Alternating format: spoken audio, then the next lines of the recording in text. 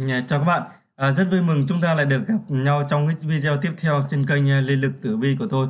À, quý vị thân mến, trong cái video này thì à, chúng tôi sẽ chia sẻ với quý anh chị và các bạn có một cái loại cây mang khí chất thần tài giúp xua tan cái hung tinh quấy phá và thổi lộc lá may mắn đầy nhà. Vậy thì đó là cái loại cây nào? Thì ngay bây giờ ban biên tập sẽ không để các bạn phải chờ lâu và chúng tôi sẽ chia sẻ với quý anh chị và các bạn một cái loại cây cực kỳ là là tốt trong cái lĩnh vực này. Và đấy là cái cây thường xuân quý vị ạ. Đây là một cái loại cây là một trong những loại cây phong thủy mang khí chất của thần tài và không chỉ giúp rũ sạch vận đen, xua tan hung tinh quấy phá mà còn mang lại cực kỳ nhiều cái may mắn. À, quý vị thân mến, à, thường xuân là một cái loại cây dây leo thuộc họ ngũ gia. Cuống mọc rễ, cành non phủ lông dạng như là vảy cá và thường xuân thường nở hoa vào đầu thu. Hoa màu vàng nhạt năm cánh, từng cánh chụm lại giống như là một chiếc ô tỏa ra cái hương thơm dịu nhẹ, dễ chịu. Và thường xuân là một trong những loài cây cảnh mà rất thích hợp trồng trong nhà. Vì vậy mà mang may mắn về tài lộc và giúp lọc sạch không khí rất là tuyệt vời. Và theo phong thủy thì à, thường xuân là loại cây mang những khí chất của thần tài bởi có cái sức sống mãnh liệt, luôn xanh tốt quanh năm, bất chấp tất cả dù nắng hạ gay gắt hay là gió đông giá rét. Đặt trong nhà hay là bàn làm việc à, một cây thường xuân đồng nghĩa bạn đang đặt một cái lá bùa may mắn giúp mang lại nhiều cái hỷ tín về tài lộc, rũ sạch vận đen và à, mang lại nhiều may mắn về cuộc sống cũng như là cái sự nghiệp.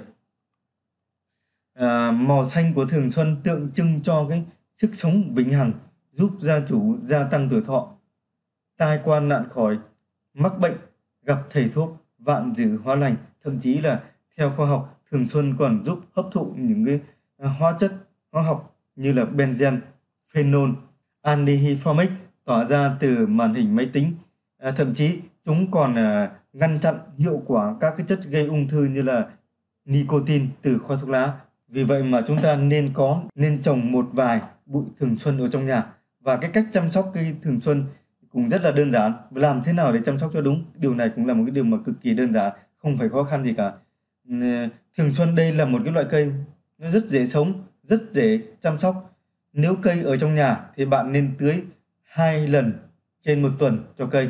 Còn nếu cây ở ngoài trời thì à, tưới nước thường xuyên là tốt nhất. Và đặc biệt ở đây thì gia chủ nên dùng cái bình phun sương tưới trực tiếp lên bề mặt lá và nên tưới vào buổi sáng. Và gia chủ cũng nên thường xuyên quan sát và tỉa bớt những cái chiếc lá bị hư, heo úa. Thường xuân, đây là một cái loại cây ưa ẩm. Gia chủ nên trộn thêm à, sơ dừa cho chấu, mùn cưa, phân bò khô vào đất để tạo ra cái độ ẩm phù hợp. Như vậy là cái cách trồng chăm sóc chúng ta thấy cũng rất là đơn giản thôi. Vậy thì còn chần chừ gì nữa mà chúng ta không nên sắm cho mình một bụi cây thường xuân ở, ở trong nhà của mình. Đây là một cái loài cây ờ, phong thủy mang khí chất của thần tài, không chỉ giúp rủ sạch cái vận đen, xua tan cái hung tinh quấy phá mà còn mang lại ờ, cực kỳ rất nhiều cái may mắn. Như vậy là vừa trên thì chúng tôi cũng đã chia sẻ với quý anh chị và các bạn một cái loại cây cực kỳ à, may một cái loại cây cực kỳ à, may mắn chúng ta có thể trồng ở trong nhà. Có rất nhiều cái lợi ích và cách chăm sóc cũng rất là dễ không khó gì cả.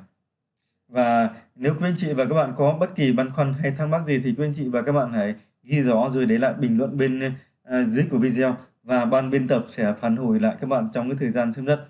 À, cuối cùng à, xin được chúc quý anh chị và các bạn luôn có những ngày tháng vui vẻ, bình an và gặp nhiều may mắn. À, xin chào tạm biệt và hẹn gặp lại các bạn trong những video tiếp theo của tôi. À, xin chào.